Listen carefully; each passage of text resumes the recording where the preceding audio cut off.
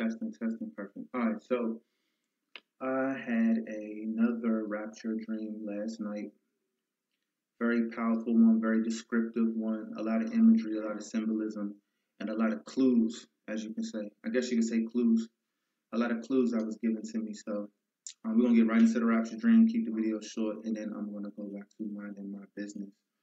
Cool. So rapture dream starts off at Los Angeles, California. I used to live there in real life for about five, six years. Excuse me. So what happened was I was at the train station at Hollywood. I think it was Hollywood Boulevard. I think that's what it's called. Yeah, Hollywood Boulevard train station. I was coming up the train. I was coming up the escalators to go to the uh, to the platform deck where you can leave out. As I'm coming up the escalators, I see two ladies preaching the gospel, but not really saying nothing. They just had like cardboard, uh, like you know, like cardboard boxes, uh, you know, big sheets of paper, pamphlets, whatever you want to call them, and it was just saying, you know, Jesus, Jesus is returning soon. You know, Christ loves you. The ABCs of salvation, what He did for us, which is so beautiful. And um, what happened was I looked at him and I was like, hey, how y'all doing? I was like, I'm a believer as well. And they was like, yeah, that's cool. We just chopping it up a little bit. I turned to my right and I see two blood moons. No, not two blood moons. I see two moons. One moon right here, one moon right here.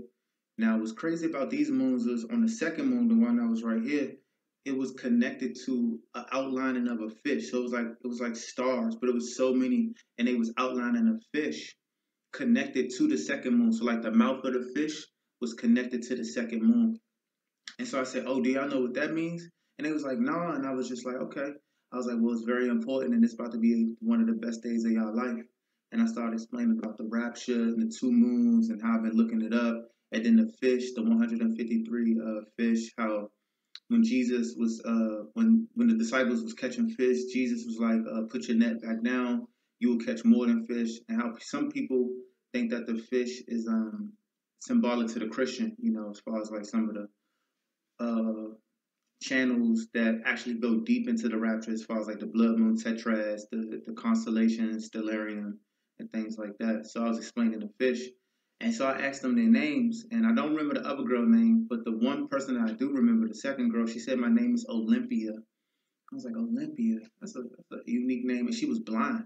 That was crazy too. She was blind in the dream. She had the stick, and so I started talking about the rapture again, and all these people just bum rushed us like to listen. Nobody like heckled us anything, but it was just all like too close in our personal space, and they was moved like it was so many people that we was moving away from our post and I just remember the blind girl, she grabbed my hand and she put her head into my chest and kind of was holding me tight she was scared. You know, like you can't really, you can't see all this, all this, like these motions around you. It's can kind of like frighten you.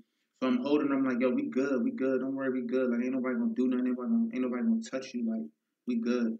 So I'm just explaining the rapture and everybody looking, and then we walk back to the thing, and then an earthquake starts. So now it's an earthquake or whatever. Earthquake happened, and so I grabbed their shoulders. I grabbed their shoulders like this, and um, I was just like, "Y'all ready? This it. This is it. Y'all ready? Y'all ready?" And I was like, "Olympia," and she was like, "Yeah." I was like, "You ain't finna be blind no more." And then I woke up.